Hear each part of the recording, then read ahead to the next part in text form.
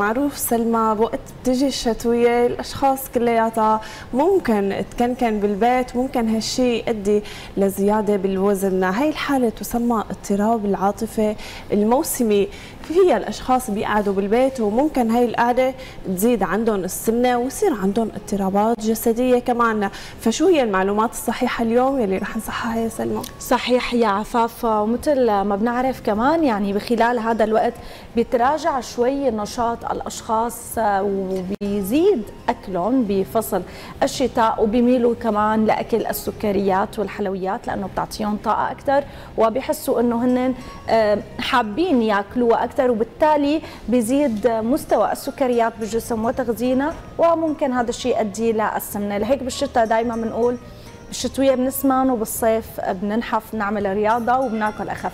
اليوم رح نتعرف على كل هالمعلومات مع ضيفتنا اللي صارت معنا بالاستوديو أخصائية التغذية العلاجية داليا حسام صباح الخير واهلا وسهلا. يا رب. يسعد صباحكم. بخير داليا؟ وأنت بألف خير. إن شاء الله تكون سنة خير علينا يا رب. آمين. إن شاء الله. خلينا بالبداية نعرف السبب الرئيسي. وراء يمكن في كثير معلومات خاطئة إنه ممكن القعدة ممكن الأكل كثير إلا ما يكون في شيء هيك سبب مجهول وراء السمنه خصوصا فصل الشتاء. تمام. مثل ما حكيتي بالبداية هو موضوع الحالة النفسية يلي حكيتي عنه الأكل العاطفي. دائما الجو وقت بيكون آه، بتنخفض درجات الحرارة العالم هيك بتفوت بيموت شوي اكتئاب. فبيرتفع هرمون الكورتيزول يلي هو مسؤول عن ال stress التعصيب وهيك. فبصير الشخص بده يفرغ هي الطاقة كيف؟ يعني هو هو باعتقاده هو إذا أكل هو رح يرتفع عنده السيروتونين ورح يتحسن مزاجه. بس هو بالعكس نحن بنفوت هيك بحلقة مفرغة. هو بصير عنده زيادة وزن بيخلص تخلص الشتوية بيجي بيقول لا أنا كيف بدي أروح هالكيلويات اللي نزلتهم؟ وبنفس الوقت إنه ما كثير عم بيقدروا العالم يطلعوا من البيت. هلأ برد وما عم ما عم بيلعبوا رياضة ما عم بيتحركوا. مثلا بالصيف مثلا ممكن إنه الواحد يتحرك أكثر يتنشط أكثر ينزل على النادي يعمل اكسرسايز أكثر فكرمال هيك هو الحرق عنده بيكون أحسن. فبالدرجه الأولى هو المزاج. تبدلات المزاج هذا الشيء اللي بيأثر. حتى لو أنا كنت عم باكل نفس الأكل بالصيف أنا بحرقه. لأنه لما بيرتفع الكورتيزول هون بصير تخزين الطعام بشكل أكثر وطبعا لما بتنخفض درجات الحرارة الشخص بيتوجه للسكريات للشغلات اللي رح تدفيه بسرعة هو باعتقاده. بس نحن هلأ رح نذكر أصناف غذائية هي رح تعطيني طاقة ورح تعطيني دفى من دون ما نسمع. يا سلام هذا أهم شيء. خلينا ننتقل داليا لموضوع ثاني كمان له علاقة بتغيير العادات الصحية والنظام الغذائي والاستيقاظ والنوم. يعني نحن بنعرف الشتاء الليل أطول آه الليل أقصر عفوا من الصيف. الصيف فبالتالي الناس بتحس إنه لا أنا بهذا الوقت بدي آه، يعني فايق أكثر بدي آكل أكثر بدي هي التغيير كمان هذا بيأثر تمام. على كسب الوزن؟ أكيد لأنه هو عنده وقت بالليل هذا الوقت فاضي قاعد ما عم بيعمل شيء يعني. بالعادة إنه مثلا مثل ما خبرتك ممكن رياضة ممكن مشاوير ممكن قصة يعني هون هذا الوقت فاضي فشو بدي أعمل بدي آكل. بس نحن بإيدنا نحن نتحكم بموضوع الهرمونات إنه نحن كل ساعتين نعطي سناك صغير ونركز قد ما في هون بيتنظم موضوع هرمونات الجوع والشبع. يعني أنا هيك ما بروح بروح مثلا الأنسولين بينزل كثير هرمون الجوع هرمون الليبتين الجرلين هالقصص هدول بيصيروا بيتنظموا. وقد ما فيني ركز على السكريات المعقدة. يعني مثلا مثل الحبوب الكاملة الشوفان مثلا البرغل بس بكميات قليلة لأنه هي بتتحلل بالجسم ببطء فبتعطي آه، طاقة لفترة أطول فالجسم ما عاد بيطلب آه، أكل بكل ساعة. أما أنا إذا رحت مثلا على الشيبسات على الشوكولا على الحلويات فهيك الإندكس عم بيطلع وينزل بسرعة مؤشر سكر الجسم فهيك الشخص بده يضل عم ياكل. يعني انه نجيب مثلا كيلو حلو نابلسي ونقعد ناكله بالشتوية هذا يعتبر هذا كارثة. فينا بس ننكر إنه طيبة عفوا هذا كارثة. مثل ما حكيت أنا كل شيء سكريات بسيطة حلويات هي عم ترفع مؤشر سكر الجسم بسرعة وينزل بسرعة. فأنا ما أعطتني طاقة. فأنا هون بركز على الحبوب الكاملة على البقوليات على الشوفان على الكينوا كمان هلأ كثير ترند يعني هي من زمان موجودة بس نحن هلأ صار عندنا شوي ثقافة إنها هي كثير مفيدة هي بتضبط الشهية وهي fibers دائما حاول قد ما فيني ركز على الألياف. الألياف هي بتعطي امتلاء بالمعده فالشخص ما عاد بيطلب. ركز مثلا على مثلا الخضروات الجزرية مثلا مثل البطاطا الحلوة. هلأ كثير هي خيار جيد وبنفس الوقت هي بتدفي. بس والله ما بتشبع البطاطا حلوة يعني غير وقت بيكون قدامك صحن نابلسي وعم آه. تاكلي. خلينا نعرف شوي كمان عن العادات الخاطئة اللي ممكن نعملها ونرتكبها. إيه آه، هلا العادات الخاطئة مثل ما حكيت إنه مثلا العالم متعودين هلا صحن البزورات المساء آه، صحن الحلو مثلا الشيبس مثل ما حكيت عند الأطفال مثلا. هذا كثير أنا هون أنا عم عم لاقي مشكلة صراحة. لما بيجيني الطفل مثلا نحن عم نعطيه نظام هو عم بيروح مثلا عم بياكل هدول السناكات القصص طيب البديل. يعني إيه، اليوم نحن البديل البوشر بنعرف يمكن هلأ الأصعب هو الطفل. تمام تمام. غير الكبار. الطفل دائما بدنا نحاول نبرمجه يعني في ناس بتعمل لهم شيبس بالبيت شيبس طبيعي. تمام تمام. إنه أخف شوي يعني بس أنا بالنسبة لإلي أنا بالنسبة لإلي لأنه بده يضل deep frying على البوشار طيب البوشار البوشار أنا خيار جيد خبرتك عنه. بالأخير هو كمان عم بيتسلى فيه الطفل بس بنفس الوقت هو شيء مفيد درع يعني. أما الشيبس عم بيكون مقلي بزيت مثلا ممكن يعني ما كثير صحي ما إنه healthy للطفل فلما بدك تعطيه الوجبة الأساسية هو ما عاد قدر يتقبلها. صحيح. فهون صار في فتنا ب mood ثاني فتنا بسوء تغذية ب malnutrition إيه كنت عم تخبريني على العادات الخاطئة يلي عم تصير. إنه الشخص كمان ما عم ينظم وجباته. هلأ دائما أنا حتى ما بفصل الشتاء حتى بكل الفصول عدم تنظيم الوجبات إنه أنا أتناول يوميا خمس وجبات وسناكين أو ست وجبات حسب كل شخص. هذا الشيء بينظم له هرمون الجوع والشبع. فهو هيك مستويات السكر بتتنظم بجسمه. فهو هيك ما عاد ما عاد يتوجه لشغلات سيئة. إذا أنا بس اشرحي للناس تماما. لأنه في ناس الوجبه عندها الصحن هالقد تماما بالضبط. إذا أنا عم بفطر فطور نظامي هو بيحتوي على جميع المغذيات الضرورية اللي هي بتحتوي على مثلا الحبوب الكاملة على البروتينات على الدهون الصحية مع حصص الفواكه والخضار. ورجعت أنا مثلا تغديت غدا كمان نظامي وعشاء نظامي فهيك أنا ما عاد جسمي خلص توازن. يعني أنا ما عاد بحاجة إني أتوجه لشغلات ثانية ابدا. وخصوصا مشتقات الحليب والألبان مثلا هي كثير العالم تغفل عنها تنسى. الحليب كثير هو خيار صحي طبعا للأشخاص اللي ما عندهم نفخة. نستبدلهم اياه باللبن.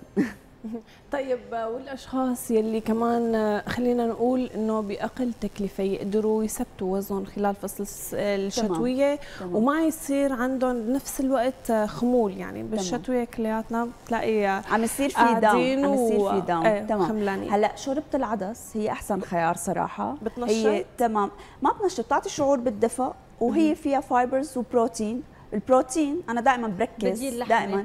بالضبط بديل لحمة هو plus إنه هو بحفز هرمون الليبتين هرمون الشبع. فهيك الجسم انضبط. يعني أنا أكلت وجبة شوربة عدس مثلا مع عصرة ليمون استفدت من الحديد ومن البروتين ومن ال fibers فأنا غذاء صحي يعني. يعني أنا هلأ يوميا بنصح أي شخص شوربه العدس تكون طبق رئيسي.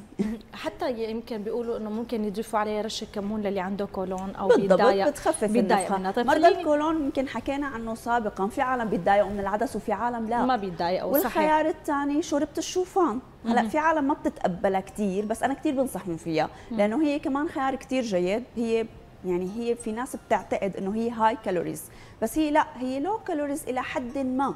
لأنه هي عم تعطيني كمان شعور بالامتلاء وشعور بالدفى وهي complex sugar من السكريات المعقدة اللي بتتحلل بالجسم ببطء فبتعطي طاقة لخمس ست ساعات. أكيد. طيب داليا خليني أسألك عن شغلة. كمان خلال هذا الوقت خلينا نروح إذا بدنا نحكي شوي عن الأنظمة الغذائية بالشتاء للناس اللي عندهم أمراض. هلأ نحن عم نحكي بشكل عام إنه شو النصائح اللي أنت بتنصحيها؟ طيب في ناس مثلا ممكن يكون مرضى سكري آه مرضى ضغط يعني بعض أنواع الأغذية ممكن ما تلائمهم تمام. فينا كمان تمام. نحكي وهن already بياخذوا خمس وجبات أكيد بس باليوم. خلينا ناخذ كل مم. مرض لحال. عرفتي؟ مشان ما كثير يعني. يصير في تداخل. بنبلش بمرضى السكري. هلا مرضى السكري ال type 2 آه، هني هون أكثر شيء نحن بنقدر شوي نتحكم بغذائهم أكثر من ال type 1 type 1 هن في جرعات انسولين وهيك كمان بنقدر ننظم لهم بس ال type 2 نحن بنقدر نضبطهم أكثر شوي. أكتر. لأنه ال type 1 عم يصير عندهم هبوط ويعني عم يرتفع السكر كثير وينزل حسب جرعات الانسولين هي بدها تنظيم غذاء لحاله. ال type 2 نحن متى ما نحن وقت بدنا نحسب مثلا سعرات حرارية لمريض سكري نمط ثاني يلي هو هذا النمط الثاني آه، هو بصير according يعني لنمط حياة خاطئ بصير في insulin resistant فهذا أنت هون بدك تنظمي له حصص النشويات. يعني مثلا إذا مثلا مريض وزنه لنقول 70 مثلا فاحتياجاته اليوم وطوله مثلا لنقول 160 65 يعني هيك شيء تقريبا. فاحتياجاته اليومية مثلا نقول خمس أو 1500 حريرة ليحافظ على وزنه. فأنا هيك هون بنظم له حصص النشويات. يعني نحن بنعتمد إنه بنحط 50% حتى لمريض سكري بده ياخذ نشويات. بس نشويات معقدة. يعني مثلا شوربه العدس منيحه له تمام؟ هي ما فيها كثير كربوهيدرات سكريات ما بترفع له السكر. الشوفان منيح له بس بكمية. يعني كثير بدي ركز على موضوع الكمية. كمية. الخبز الأسمر. مثلا أنا بحط لهم رغيف أسمر صغير. الصبح ورغيف أسمر صغير المساء ممكن أحيانا كمان البطاطا بس كمان كثير بدي انتبه على موضوع الكميات. يعني ال serving والحصص ما في شيء عشوائي. فهي شغلات بتعطيهم طاقة المكسرات كمان كثير منيحة لهم بس كمان بحصص. هلأ المكسرات ما بترفع لهم السكر هي كثير منيحة لهم دهون صحية كمان تعطيهم قوه المكسرات المو مملحه المو مملحه تماما بالضبط. يعني النية. اللوز مثلا الجوز هالقصص ممكن ناخذها كسناكات. طب خلينا هلا ننتقل. والبرغل والفريكي. خلينا ننتقل ل بما إنه هلا خلصنا من شوربة العدس يمكن المشاهدين كلهم هلا بس تمطر الدنيا شوي كله بينتقل على شوربة العدس. هذا البروتوكول يعني البروتوكول الشتوي. عنه. خلينا ننتقل للنشاط البدني هلا. يعني تمام. آه الواحد بالشتوية عنده خمول وقصص ممكن يقلل المروة يروح على الجيم مثلا أو حتى يعمل رياضة يمشي حتى. تمام. شو هون النصيحة آه اللي لازم نحن نتبعها لحتى هيك شوي يعني إذا ما قدرانين لهون ولا هون شو نعمل؟ تمام. هلا أنا بهي الحالة بال minimum يعني إنه الشخص يعمل رياضة بالبيت. تمام؟ يعني ما لأنه موضوع إنه شخص مثلا متعود كل السنة عم يلعب رياضة وإجا بهالثلاث شهور هو نفس المدخول نفسه. يعني هو بيجوا لعندي مثلا بيقولوا لي أنا عم ناكل نفس الأكل بس ليش عم نسمن؟ لأنه أنت ما عم تتحرك أنت قاعد مكنكن وعم تتسلى بالأكل. يعني أكيد بدك تسمن إيه فحتى لو كانت اختياراته إلى حد ما صحية. فأنا بنصح شو الرياضات اللي يعملها بالبيت مثل آه مثلا هلأ تمارين يعني فيني أقول مثلا فيني واحد مثلا يفتح أي يوتيوب بس يركز على ال cardio ال cardio اللي هي فيها حرق عالي وشده عالي. يعني يلي هي بتسرع دقات القلب فهون بزيد معدل الحرق. حتى الكبار السويدي تمارين السويدي. الكبار بالسن صاروا يعملوا لهم علاج فيزيائي وهن نايمين على التخت. physical يعني بيعطون رياضة لبعض الحركات لكل الجسم من دون ما ينزلوا ويتحركوا صح يعني صح. مثل ما قلتي أستاذة داليا أهم شيء إنه نحن يكون عندنا النظام متكامل. يعني رياضة مع الأكل مع كل شيء مع تمام. بعض. في نقطة مهمة كمان حابة أذكر كثير فيها المي المي. المي كثير بينسوها بالشتوية لأنه الجسم ما بيطلب ما بيتعرق فبينسوها. يعني أحيانا في أشخاص تقول لك أنا بشرب كاستين باليوم بس. طبعا المي هي بتتدخل بموضوع الاستقلاب بتتدخل بموضوع الحرق فهي بيغفلوا عنها شوي. فأنا لا حتى بالشتوية أنا بدي أشرب مي. يعني فكروا إنه بس بالصيف إذا تعرقنا لازم نشرب مي. لا حتى بالشتوية أنت حاجتك اليومية 12 كوب. يوميا حتى لو ما عم تلعب رياضة. صحيح. وبيجوا بيقولوا إنه مثلا نشربها من المنبهات نشربها من مثلا الشاي الأخضر المتي القهوة. لا بدك مي pure فهي كمان بتأثر على موضوع الاستقلاب. الثانية مو بديل. المي الصافي. هي كثير طيب بتأثر على الاشخاص اللي بالشتوية بيشربوا مي أكثر أنا بالصيف بنسى المي بس بالشتوية بشرب مي كثير هلأ إلى حد ما يعني إنه بيشربوا مي أكثر بالشتوية. ما إيه. في ضرر للمي بس يعني في تسمم مائي هو فوق ممكن يكون فوق الثلاثه بحاجة أكثر أو مثلا شيء عارض ما منيح مثلا. هلأ لما الجسم كثير بيطلب مي هون بدنا نتوجه للسكر. مثلا إذا في كثير عم بيطلب مثلا مي وعم يصير في خروج هون بدنا نعمل تحليل سكر. بس إن شاء الله ما في شيء يعني هو عرضية. بس لا لا يعني قصدك إذا كثير جسم عم يطلب مي لفترة بالشتوية حصرا أكثر من الصيف. هلا هي حالة شوي نادرة. هي بتصير معك؟ أيوه فقلت لا اطمن على وضعي يعني. يعني لحد القد هو شيء نسبي لأنه أنت عم تقولي كثير بس أنا هو بالصيف بنسى المي بس, بس بالشتوية لأي حد أنت عم توصلي. يعني تقريبا باليوم شيء انتين ثلاثة. على غير العادة أنا بنسى آه. المي وما عم تلعبي رياضة ابدا؟ بمشي يعني شوي. إيه هلا بجوز أنت جسمك بيطلب أكثر عندك التصريف أكثر من غيرك. بجوز لأنك أنشط بتطلعي على شغلك بتروحي بتجي بتعطشي غير اللي قاعد بالبيت. اللي قاعد بالبيت ما متذكر وعن جد صدقا في ناس ما بيحبوها. يعني بلاقي صعوبة هون بقول لهم حطوا لها ليمون معلش بس إنه مهم تشربوها. صحيح. ويمكن لهيك دائما نعطيهم تنويع إنه الديتوكس اللي هو كثير انتشر تمام. الفترة الماضية كمان تمام. للناس ما بيحبوا المي. بنحاول شوي إنه نعطيهم ديتوكس شتوي. بديلي. بالصيف متعودين بنحط خيار ليمون نعناع. بالشتاء نفس الشيء ولا لا؟